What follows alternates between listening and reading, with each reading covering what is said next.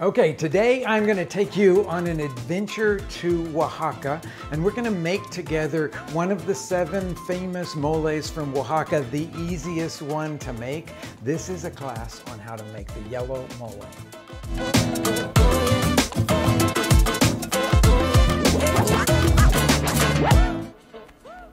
In Oaxaca, yellow mole is typically served with chicken. And I know a lot of people are drawn to chicken breasts, but they're really hard to cook and keep moist. So I'm gonna show you my foolproof way to cook a chicken breast, uh, another lesson here in all of this, as well as teaching you how to make the yellow mole. So I have chicken breast halves here, just the way you would buy them from the grocery store. They have skin on, they've got the, the breastbone in, and it's got the rib bones in, all of that. And we are going to poach them in some water. I've got five cups of water here. But before I actually put them into the water, um, I'm gonna add a teaspoon of salt to the pan because I really want to cook them in seasoned water. So that'll be a light seasoning for that. that. It's not gonna be heavy seasoning. And then I'm gonna drop these guys in here. I have it right now over a sort of medium heat. I'm gonna turn it up because once we hit the boil again with this, I'm going to turn it off and just let them poach gently in that water that seasoned water that we have there. Now, with five cups of water, you should be able to nestle them down. I'm kind of pushing it here because a little bit of it is stuck up outside of the water. Uh, that will be okay for me as long as, as I'm letting it slowly poach in this boiling or this once boiled water, I turn them over every once in a while just to make sure. Now, once this comes to the boil, and I mean a good solid boil. I'm going to put the top of it on and then I'm going to set a timer for 25 minutes. But as you can imagine, during that time, the temperature is just going to go down, down, down, down, down. So there's not much chance of overcooking these chicken breasts. Um, now, while that's getting ready to come to a boil there, and before we start our timer on it, um, I'm going to talk about roasted vegetables. Now, typically with yellow mole in Oaxaca, um, they will have boiled vegetables with it, and it's a kind of an interesting combination of things that are very classic there. Little tiny potatoes, they would call these papas cambray in, in Mexico. Um, and they're the very littlest, littlest ones, about one inch in diameter. If you have bigger potatoes, you could, of course, cut them into smaller pieces. But instead of boiling them, as would be traditional there, I'm going to concentrate their flavor by roasting them and actually add flavor to it because they'll get a little bit browned. But each one of these one inch potatoes, I want to cut in half um, so that they'll roast evenly. Now let's talk about the second of the vegetables that is here, and that's chayote. So chayote has a fairly thin skin. You can leave it on or you can take the peel off. It's typical in Mexico that people will actually peel it. Um, but I think because of the tenderness of it, why not just leave it on? It'll give you more nutrition. And so you cut it in half that way, okay? So it's kind of got two flat sides on it. So you'll cut it down in the middle and that will expose this seed that is in the middle there. And then I usually just take my, my knife tip go in and remove the seed. Um, down in Louisiana, for those of you that are familiar with the cuisine there, uh, this vegetable is called the mirliton, and they actually love this little seed. It's a very delicious seed, and it's crunchy. You could just save it and add it to things, but you'd have to have a lot of seeds to make that work. Okay, so I'm going to cut this now into about half inch pieces like that and then cut it crosswise. I'm going to take that little top piece off because it's got a, still got a little piece of the stem in there. And then cut like that. Uh, these little pieces over here, I want to kind of even them up. I know a lot of people I think that seems like a kind of fussy thing to do, but it actually just ensures that the pieces will not only look beautiful, but they will also cook really evenly. Uh, you'll notice while you're, oops, let's look at our, our chicken over here because we don't want this to get away from us. Now I've got a full rolling boil. I'm going to put the top on leaving just a little bit of space for uh, steam to come out, turn it off, and then in 25 minutes, we'll take a look at that again. Okay, back to our chayote here, half inch slices across and you will notice as you are doing this that there is actually a kind of latex like substance in chayote that will make your hands feel kind of funny. Um, so there we've got all of that. Um, in several occasions, I've had to do cases and cases of chayote.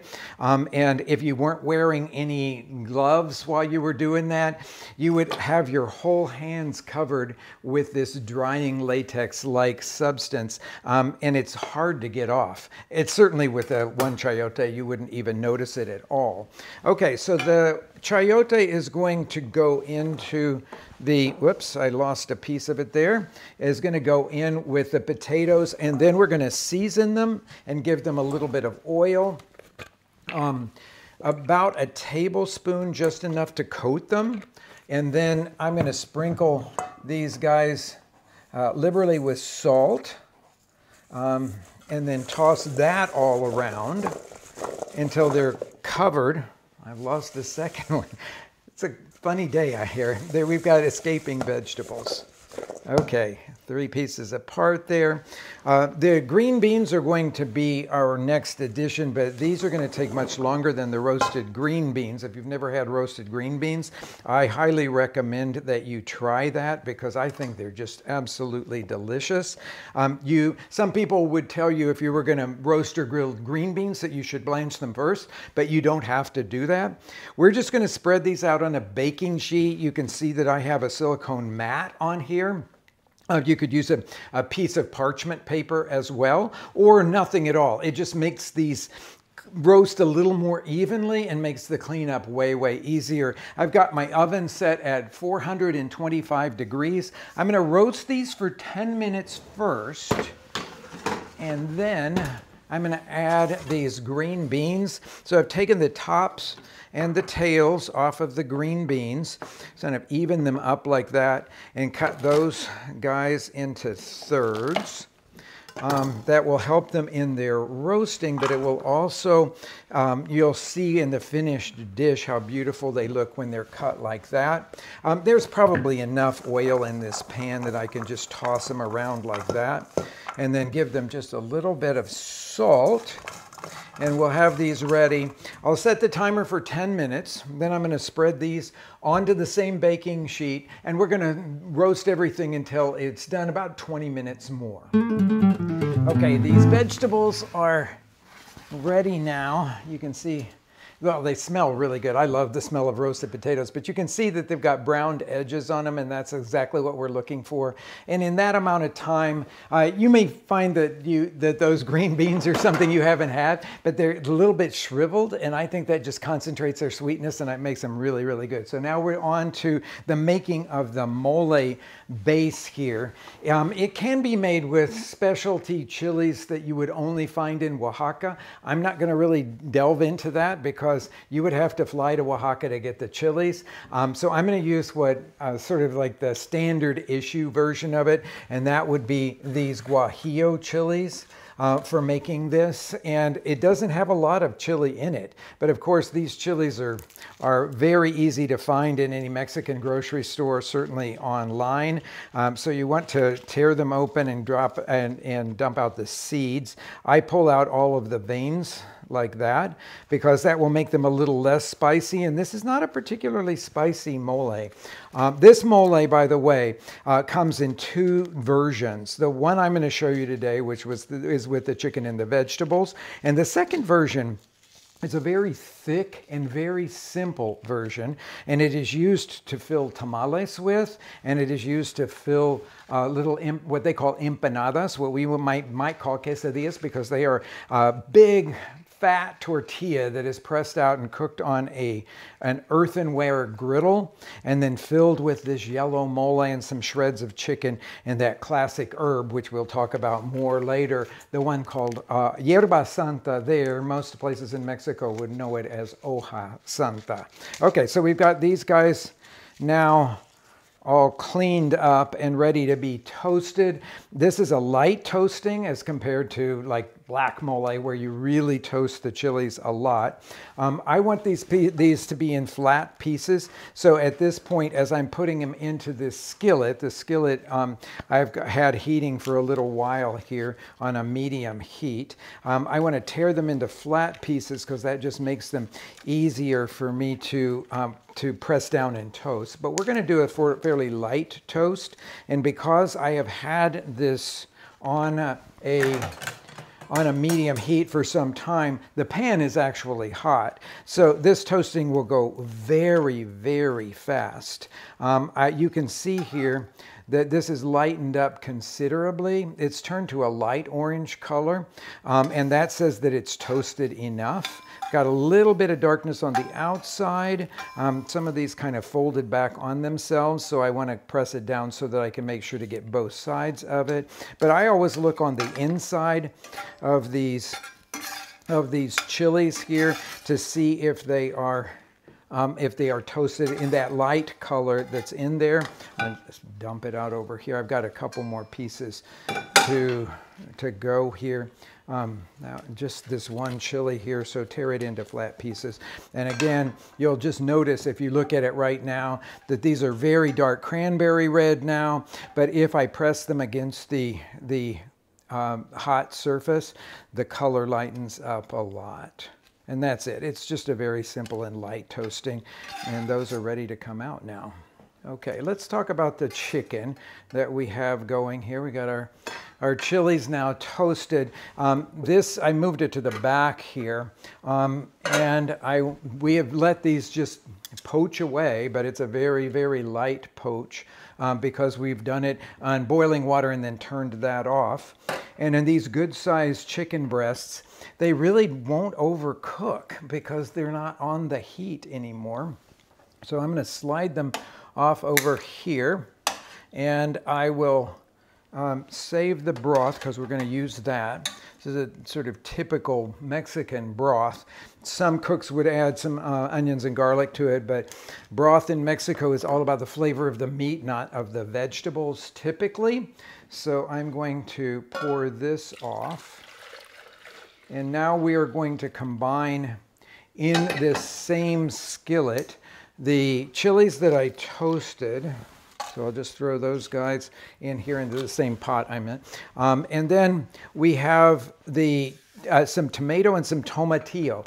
So tomato is going to add natural sweetness to it. Tomatillo is going to add natural acidity to it. So I'm just going to cut this guy up into four pieces and add that.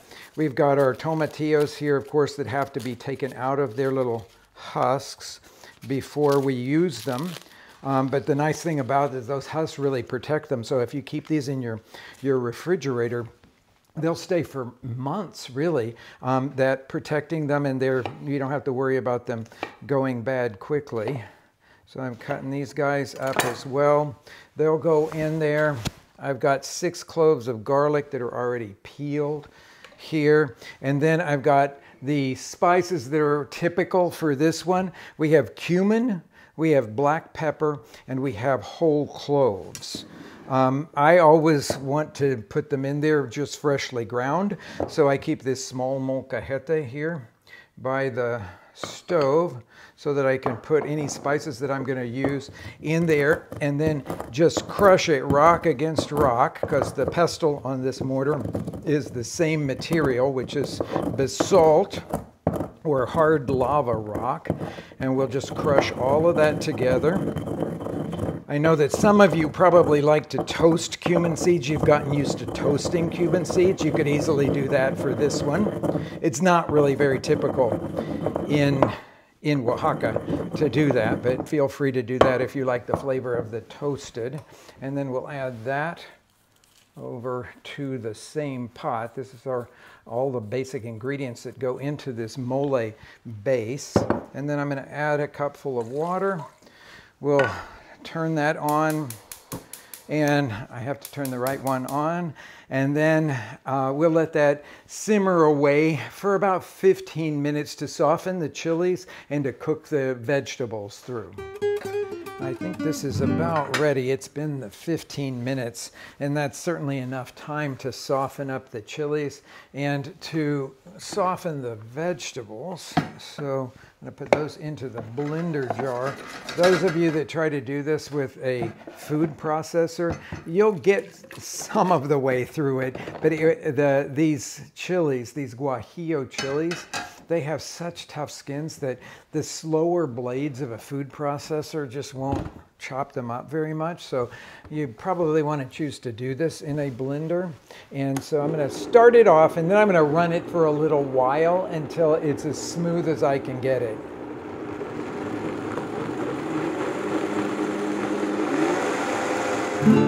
Okay, I have cleaned the pan and filmed it with a little bit of oil. I used olive oil in this case because I like the flavor with this yellow mole. And now I'm straining our puree in here. If you let it go long enough, you probably won't get a whole lot of residual bits of skin from the guajillo chilies here. But you want to hear it sizzle when it hits that hot oil in the bottom of the pan. So you can see here with this one that I have almost nothing left in here, just a little bit of that chili skin. So I, I like to shake the strainer like that or tap it and then shake it and get everything that I can off. Now, when we're making a lot of red chili sauces, I emphasize to you that you need to cook it down in pretty hot pan with a fair amount of oil until it really gets to the consistency of tomato paste. We're not going to take this, this that far. We have lightly toasted chilies, we've got boiled tomatillos and tomatoes in this. So we want to cook it down for just a little bit until it's noticeably thicker. It will darken just a little bit. Um, and when you get to the end of this mole, I'll tell you, it's one of the most distinctive moles that you can find in Oaxaca.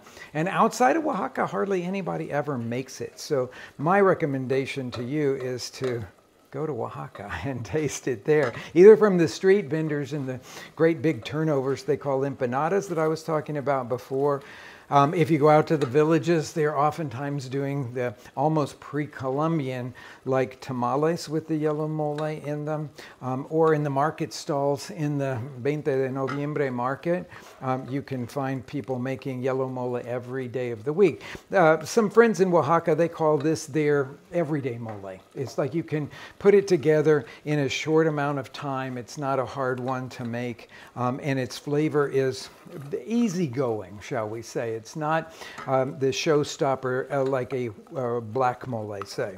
Okay, so I've gotten it cooked down. Come in here and take a look at what happens when I stir in the pot. You can see the whole bottom of the pot and it comes back together sort of slowly. That's all the thickening that I really want to do here. And now I'm ready to add some of this chicken broth. I'm going to take a cup of it out and then I've got about three and a half cups left of it, which is going to go in here. I'm going to, this is mole that is thickened with masa, the corn masa, either the dehydrated masa harina, which is easy for everyone to find, or fresh masa. You can use either one. Um, but this mole base, now we are going to let just simmer here um, for about 20 minutes for the flavors to come together. Then we'll thicken it and we'll add the herbs. So when we're talking about herbs here, I'm going to tell you that I'm going to offer you two different options. And so we have both of them here. And the reason that I need to talk about it now is because one of them is dried and one's fresh. Now this is the classic hoja santa, hierba santa that goes into the mole amarillo, the yellow mole. This is avocado leaves. So for the, for most of you, it will be harder to get the fresh leaves unless you live at a place where it can easily be grown. Those of you that live in Texas, this grows wild all through Texas. Um, but everybody can get, if you have a good, well-stocked Mexican grocery near where you are, everybody can get the avocado leaves, the dried avocado leaves. So if you're using the dried ones, they would go into this pan now. The fresh things, just like with fresh cilantro, cilantro and parsley and things like that, we will add at the very end of the cooking so that they maintain their freshness. So about 20 minutes on that simmering and we'll be ready to, to finish this this simple yellow mole. Now, before we do anything else though, we have to talk about these chicken breasts because I'm going to show you how I would clean them here. Um, so the skin can come off because this is boiled chicken skin and it, nobody really likes boiled chicken. I don't care for boiled chicken skin very much. Um, so I'm going to peel that off of these guys and then I'll flip it over so you can see the other side here. This is the sternum or the breastbone. And I'm just going to do all of this with my hands because um, that's the way I think it's easiest to do it. You just run your hand right along that breastbone that's there. And it will connect up here to this large and thick bone that is at the top. That's where the wing was attached. This one that was right at the top here is the wishbone. And, it's, and then you have beautifully cooked, beautifully poached chicken breasts. And they are just going to be rewarmed in the in, the mole. Um, and this is the way I think you will have the absolute most juicy, beautiful uh, chicken breast that you could imagine. So I've got a couple more of these guys to do here. And then we'll meet back when I have the base of the mole or the mole uh, itself finished simmering there. Now, I know this is called yellow mole, but most of you will not think it looks very yellow. It certainly doesn't look, it looks like rusty red here, a real deep orange color. But our next step is to thicken it with masa, and that's going to lighten its color. It's not going to make it turn yellow, but in pre-Columbian times, this was part of the yellow shade. Let's just call it that way. Remember, we have uh, one cup of the chicken broth left here. I have both the dried masa, which is really easy for everyone to get, the masa harina that you would use for making tortillas after you had reconstituted. I have some fresh masa here. This will make it a little bit more velvety, but this works just fine. So this is six tablespoons, which I'm gonna put into the blender along with that broth. And then we're gonna blend this. That won't take very long at all. That's just to kind of bring it all together. So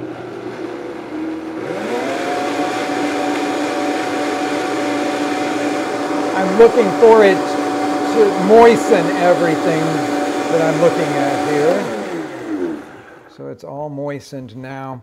Uh, it's really best, even with the masa harina, to pour it through a strainer and into this simmering pot here. So in case you have any pieces that didn't get completely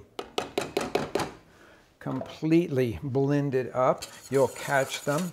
And then I'm going to turn this up to high now and, and whisk it this sort of like you would a cornstarch thickened sauce. You whisk it as it comes to a simmer and you've noticed that it's a little bit lighter in color here. Um, and then we're ready. It's almost to a, back to a boil here. Um, I'm seeing it around the edges coming. But when it comes to a full boil, but not before, I can stop whisking it and turn the temperature down a little bit my standard thing is that once you add any starch to a sauce, no matter what it is that you're making, you want to heat it real fast, whisking constantly until you get it up to a boil. Then you can reduce the heat, but that quick uh, boiling will thicken it quickly and you don't have lumps and stuff like that in it. So I think we're just about to where we need to be. Yeah, it's coming to a nice simmer now around there. So I'm just going to set this to the side, turn it down a little bit now, and let's talk about this uh, herb hoja santa or hierba santa. Um, the, this I cut the center out of like that because that tends to be really fibrous. And then the rest of it, I'm just going to tear into small pieces. Now, if you've never had the opportunity to have this, uh, let me explain to you what the flavor is like. If you've ever tasted the little frilly tops to a to fennel bulbs, the little green frilly tops, um, that's a lot what this tastes like. It's not exactly. This is a bit more anisey than that. Um, but it's it, it, does have a similar kind of flavor. So that is one thing that you could use as a replacement for this is you could just put those frilly tops in here. You'd probably want to blend them in because I'm not sure you would want the the the little pieces that you have with fennel tops. Um, but I'm going to put these leaves in here. That was two of those average size hoja santa leaves and just whisk it around and we're going to let those cook in there for just a minute. And then we're going to drop, that's thickened up nicely and all that, we're going to drop these guys back into that simmering mole and let them warm through you probably have been wondering why, why, why I didn't just use boneless, skinless chicken breasts because everybody can get them easily and so forth. It's because of the cooking and the, the, the retention of moisture in the chicken breast itself. Even though I took the bones and the skin off, if I cook it with the bones and the skin, number one, it will protect the flesh of the of that chicken breast and it will they will come out juicier. The other thing about it is that the, the bones and the skin will give that broth so much more flavor. And so your mole amarillo will come out much richer, much more delicious. So I'm going to let that simmer for a couple more minutes, drop these guys in, and then we're, once they come up to temperature, we're ready to serve.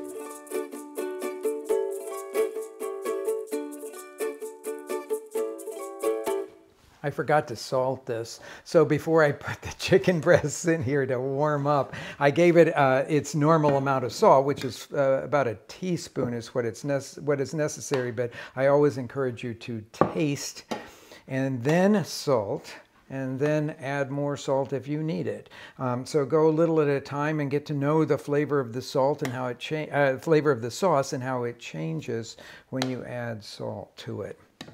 So this is a dish that is always served with copious amounts of, of sauce. So I'm going to spoon now some of this beautiful yellow mole over it along with the hoja santa, hierba santa leaves that are in here. Now, if you had used the avocado leaves, this is a point where you would take them out before you spoon all of this sauce on there.